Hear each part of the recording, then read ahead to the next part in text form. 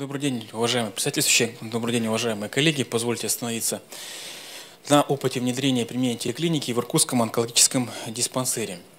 Ну, если говорить об э, телеклинике, все-таки стоит помнить о том, что история э, нашего сотрудничества между немецкими коллегами и между э, коллегами в Сибири, в России начинается с 2007 года, когда было подписано по решению 6 Петербургского диалога во время визита в Иркутск соглашение между о сотрудничестве между форума Коха и Мечникова и представителями Министерства здравоохранения Иркутска, Иркутской области, а также Э, медицинского университета города Иркутска.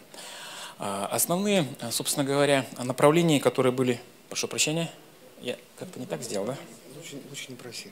Ага. Лучше не а, все, я понял, спасибо большое. Угу.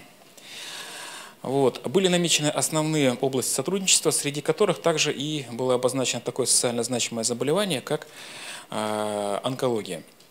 Э, э, формы сотрудничества были предприняты в виде образовательных проектов, клинических научных проектов и создания и развития партнерств. Формы сотрудничества также были отражены в виде научно-практических конференций, телеконференций, семинаров, тренингов, стажировках. А, стоит отметить, что а, сотрудничество между онкологами Германии и а, Сибири особенно ярко проявилось в течение последних двух лет.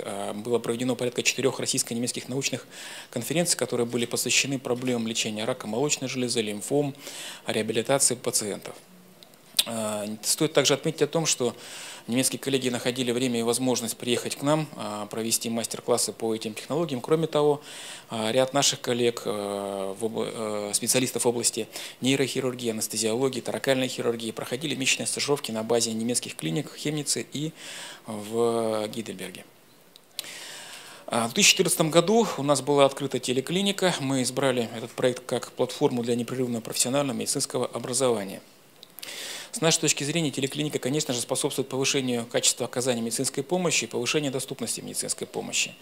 Особо хотелось бы выделить э, следующее направление, потому что об этом уже говорилось многое, и хотелось бы сакцентировать ваше внимание на том, что в первую очередь эта телеклиника э, то, э, что создано для пациента, для наших страдальцев. Дело в том, что пациент, дает возможность, пациент получает возможность услышать второе мнение специалиста и не просто специалиста, специалиста зарубежного, достаточно авторитетного. С одной стороны. С другой стороны, в принципе, пациент э, может оценить по достоинству предлагаемые методы лечения в условиях российского медицинского учреждения. Почему? Потому что все-таки мы стараемся работать согласно общепринятых мировых стандартов. И тогда, когда мы предлагаем совершенно бесплатно пациенту пройти ту же самую программу лечения а, на базе нашей клиники, тогда как э, для кого не секрет, что лечение за рубежом оно платно и будет стоить нашему пациенту достаточно больших денег, что позволяет, так сказать, выиграть опять-таки нашему медицинскому учреждению, предлагая а, тот или иной метод лечения. Ну и в конце концов, если у пациента есть какая-то определенная направленность и желание пролечиться за рубежом, мы можем оказать помощь пациенту в выборе достойного лечебного учреждения, используя опять-таки ту же самую телеклинику, и немаловажным является то, что все равно пациент возвращается опять-таки на родину, и нам приходится в дальнейшем сотрудничать с тем или иным медицинским учреждением, чтобы продолжать лечение а, как при прогрессировании основного заболевания, так либо возникающих каких-то либо проблем и осложнений. На данных слайдах вы видите процедуру открытия телеклиники в городе Иркутске. Вот. Тут присутствовали и э, в том числе представители компании «Эпос», которые также оказали нам большую услугу в организации телеклиники. Для Иркутска, э, Иркутского онкологического диспансера вообще это было достаточно значимое событие. Более того, э, на присутствии на процедуре открытия телеклиники присутствовал бывший наш губернатор Иркутской области Ерощенко Сергей Владимирович, министр здравоохранения – и заместитель Заксобрания по э, вопросам. Про оборудование телеклиники, я думаю, нужды останавливаться особо и нет. В общем-то, уже подробно осветили эти вопросы. Технологии скайпа с использованием высокотехнологичной э, техники.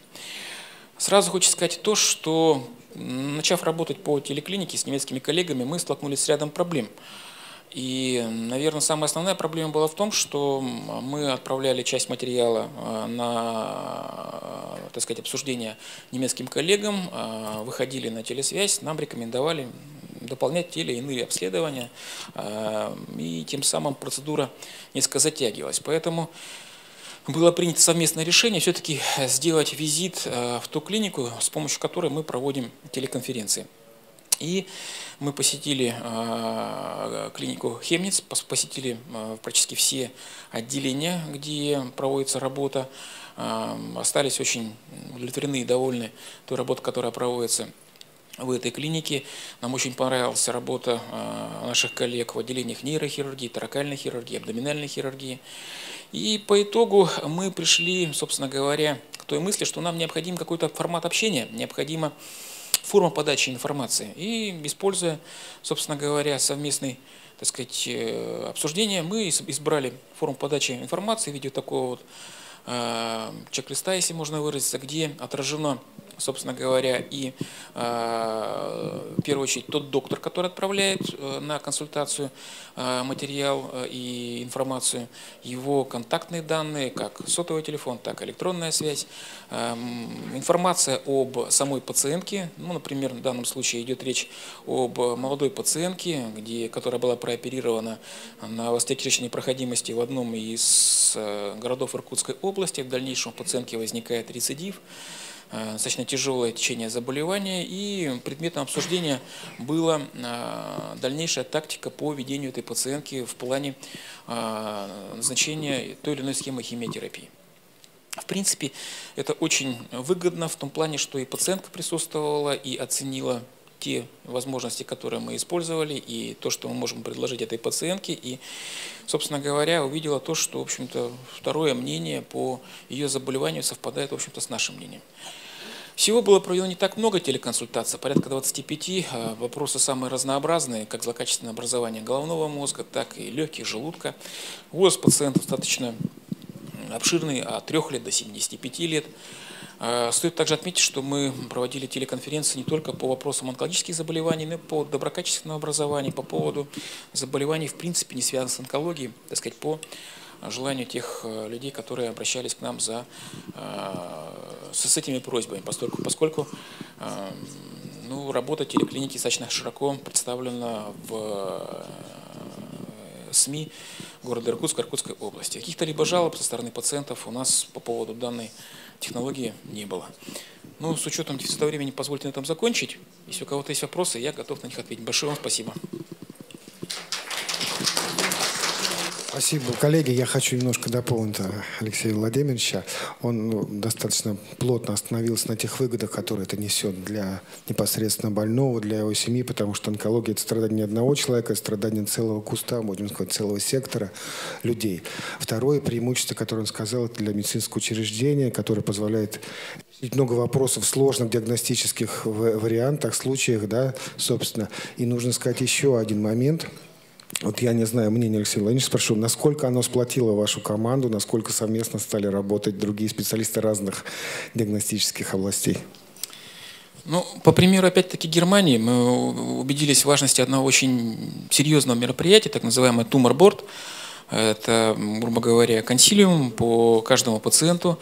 И, в общем-то, сейчас, вот, по крайней мере, касаясь вот той профильной патологии, которой я занимаюсь, колопроктология, у нас все пациенты, которые получают диагноз злокачественное образование прямой ободочной кишки, обязательно проходят так называемый тумор-борт, где принимает участие профильный специалист, химиотерапевт, радиолог, специалист рентгенотерапии, рентгенолог. Это, конечно же, сплачивает нашу команду, позволяет обсуждать многие сложные вопросы.